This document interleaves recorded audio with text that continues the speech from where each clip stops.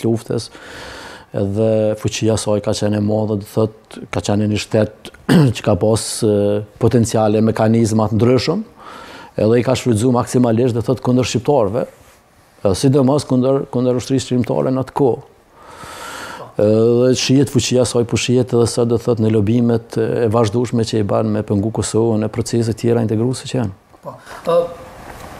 Pas luftës vjen 2008-a kur Kosova po e merrte atë për të cilën ishte luftu gjatë, ishin rënë dëshmorë, ishin bërë shumë masakra, domethënë, edhe kishte pagu kosto shumë të lartë.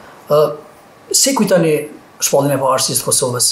Ku ishit, çfarë bëtë edhe si u ndjetë në ato momente, në atë ditë?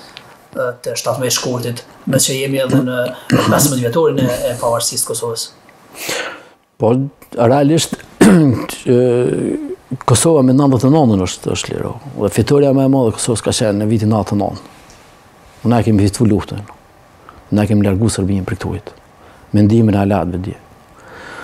Edhe pavarësia ka qenë kurorëzim i, i asaj, domethënë. Jo vetëm i, i gjeneratës tonë, po edhe gjeneratave, domethënë, të vazhdushme, sa, sa që kanë kontribu në këtë drejtim. Tash unë kam lexu dikun rreth 600.000 shqiptarë kanë qenë qenë maltretuar, domethënë nëpër burgje të ndryshme, domethënë Serbisë në atë kohë, për tortura të vazhdushme edhe presione të vazhdushme që ju kanë bo. Gati gjysma e popullsisë do thot ka kalu nëpër nëpër atë rrugë.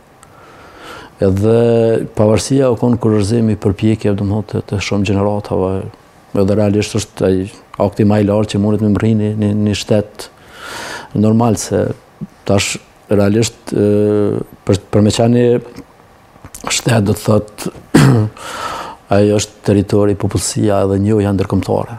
Na realisht na kemi arrit do të thotë, të trija t'i kemi, edhe pse jo të mjaftueshme njohjet, po është një proces në vazhdim. Po pavarësia ka qenë diçka do të thotë që ndoshta jemi me fat na që e kemi prit si gjeneratë. Po, ishte... Që e kemi jetu, po mendoj. Po, për shkak se na e shohim historinë e shteteve që janë bo të pavarura, do thotë, edhe ata festojnë, po e zamë, 200 vjetorin, më Zvicra e pat 525 vjetorin, kur është bo shtet, edhe normalisht është një ndjenjë e mirë, Sado që jemi një shtet i ri, po fatmirësisht do të thotë në atë kulturën tonë, në qytetërimin tonë nuk jemi mbrapa vendeve të tjera. Ishte ajo ishte kjo pavarësia si me thonë për të cilën kishit prit, kishit mendu, kishit luftu me gjitha ato që që që që ka si si si Jo ne kemi ditë Që pavarësia nuk i zgjidh gjitha problemet që që i kem. Edhe normalisht që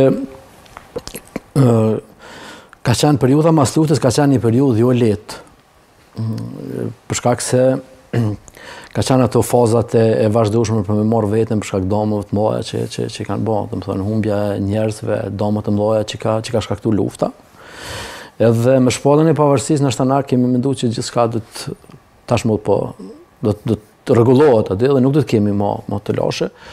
Po në realitet këto janë normale, do thotë se për shkak se edhe pas shpalljes pavarësisë proceset duhet të vazhdojnë edhe jemi mundu me bo maksimumin, do thotë se duhet me bo maksimumin për me ecë ma tutje.